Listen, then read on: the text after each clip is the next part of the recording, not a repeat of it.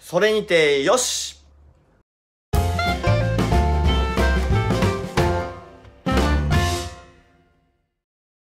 どうも。最初に告知をさせてください。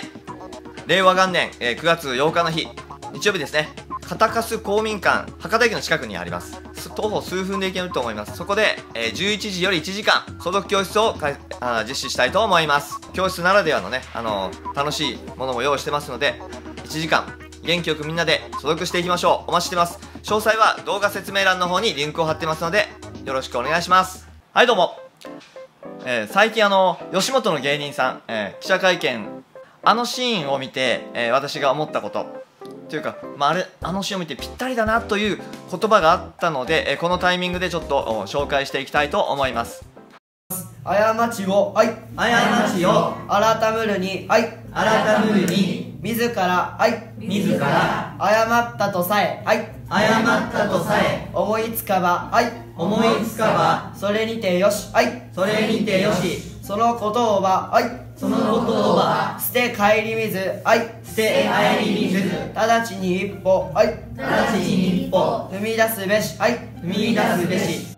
過ちを、はい、過ちを。悔しく思い、はい、悔しく思い取り繕わんと、はい、取り繕わんと心配するは、はい、心配するは例えば、はい、例えば茶碗を割り、はい、茶碗を割りその賭けを、はい、その賭けを集め合わせみるも、はい、集め合わせみるも同じにて、はい、同じにて千もなきことなり、はい、千もなきことなり。はい。ということで西郷さんのこの言葉どうでしょうか、まあ、ぴったりですよねもうなかなかね過ちを謝ったすいませんってねあのなかなかね実は大人になったり地位が高かったりするとなかなか言えないんですよね。いやもういろいろ失いますからねそれによって。割れた茶碗のかけらを集め合わせる行為というのはあのその人が言い訳するしたりするのもそうなんですけど、えー関まあ関係者が言うのはまだしも許せるんですけど特にあの影響力のあるテレビなんかでねもう全然関係ないのにまあ好き勝手なこと言うわけですよ、まあ、あれなんか意味あるんですかね。全く誰のためにもならないと思うんですよ。私はあれも茶碗の賭けを集め合わせる行為と同じだと思います。あと、えー、なんですか？あの社長さん。あれもちょっと見ました。うん。やっぱりねあの私は言葉を素直に、え受け取るようにしてます。特に真剣に話してる人の言葉っていうのは重く受け止めるんですね。ね私が間違ってましたそう言って話をしている人にいや実は裏はこうじゃないかなんてねそういうのを思い巡らせるのは全く無意味だと思ってます、えーもう一度ねちょっとあの前半部分もう一度読んでみたいと思います。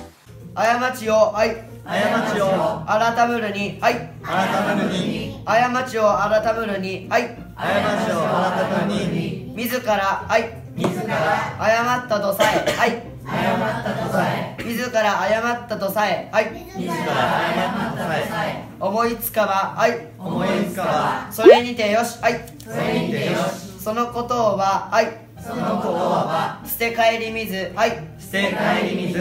そのことをは捨て帰り水、はい、そのことは捨て帰り水。直ちに一歩、はい、直ちに一歩。踏み出すべし、はい、踏み出すべし。直ちに一歩踏み出すべし、はい、直ちに一歩踏み出すべし三、はい、過ちを改むるに自ら誤ったとさえ思いつかば、それにてよし、そのことは捨て帰り水、直ちに一歩踏み出すべし。え、これでまあやらかすんですよ。人っていうのはね。もう本当に私もねもういろいろありますよ。ああの時こうしていればよかったなとかものすごい悪いことしたな謝りたいな実際謝れなかったこともあるんですよね、うん、だけどもあの私が間違ま私が間違ってましたとそういった人に対してはもう何も私はあのそれ以上はねもう言わないようにしてます。ね、だってそれを言ったその人はやっぱり辛いですよ。でそこからでも一歩踏み出すっていう行為は、うん、なんなんだろう。まずやっぱ尊敬にも値しますしね。それからその人は、えきっとねあの前にどんどん進んでいけると思います。なるべく、まあね、これからも私も失敗したら素直に「すいません」って言って次の一歩を踏み出したいと思います。それでは名言を読めば元気が出る。それにてよしですよね。いや本当にいい言葉でした。次回もよろしくお願いします。どうも